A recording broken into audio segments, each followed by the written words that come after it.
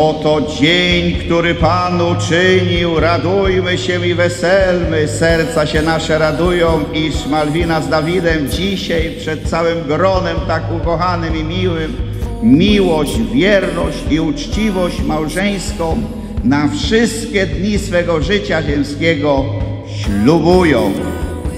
Kochani, na zaproszeniu chyba wszyscy dobrze czytali. Jesteśmy dzisiaj w najważniejszym momencie ich życia. Najwyższy sąd wydał piękny wyrok. Miłość nie ustaje do końca. Tak się zakochali, że dzisiaj przed najwyższym majestatem Boga, my tego świadkami, chcą ślubować.